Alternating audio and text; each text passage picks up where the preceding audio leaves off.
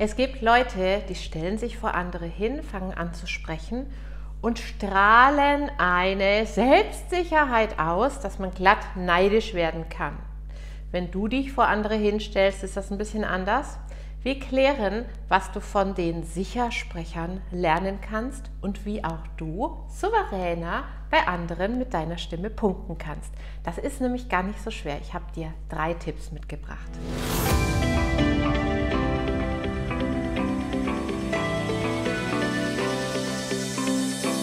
Fangen wir mal mit dem Standing an. Für deine Stimme und deine Präsenz macht es einen großen Unterschied, ob du so ein bisschen auf einem Bein weggeknickt stehst, dich oben klein machst, vielleicht den Kopf noch ein bisschen schief legst und den Oberkörper schließt. Dadurch schließt sich auch dein Brustkorb und der Brustkorb ist an sich der Bereich, der deiner Stimme einen Support gibt, wodurch die dann nämlich lauter werden kann. Also, richte dich auf, nimm die Schultern sanft nach hinten unten, steh mit lockeren Knien und auf beiden Beinen und beobachte mal deine Wirkung und dein Stimmklang wird schon ganz anders sein. Es ist uns ja leider auch hinreichend bekannt, dass tiefere Stimmen kompetenter und souveräner wahrgenommen werden. Die wirken so. Ob die Menschen wirklich so sind, ist eine andere Sache, aber eine tiefere Stimme, die wirkt kompetenter. Und, kleiner Tipp aus dem Stimmtraining, wenn du deine Stimme gehen lässt in den Körper rein, dann ist es auch so, dass du länger ohne Heiserkeit und ohne Anstrengung sprechen kannst. Also Win-Win. Heb deine Stimme nicht an, sondern versuch mal, deine Stimme gehen zu lassen. Es gibt verschiedene Übungen, die du in meinem nächsten Kurs lernst dafür. Das startet im April. Mehr Infos unter diesem Video. Aber jetzt lass uns noch zu Tipp Nummer 3 kommen. Menschen, die Selbstvertrauen haben, sprechen deutlich.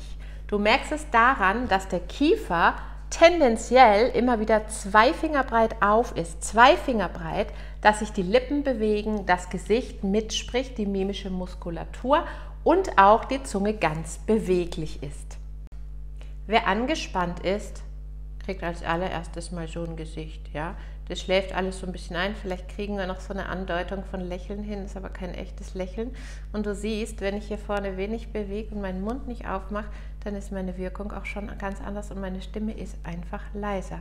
Also gewöhn dich dran, bewusst deutlich zu sprechen. Wenn das schwierig ist, dann Stell dich vor den Spiegel, üb das oder mach mit einer Freundin aus zum nächsten Abendessen. Du, ich mag heute mal übertrieben deutlich mit dir reden, damit ich das lerne und dann unter meinem Stress auch abrufen kann.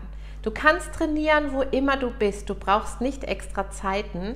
Im Übrigen funktionieren genau meine Kurse auch so, dass wir Bausteine erarbeiten, die du sofort in deinen Alltag integrierst und da merkst, hey, es verändert sich sofort.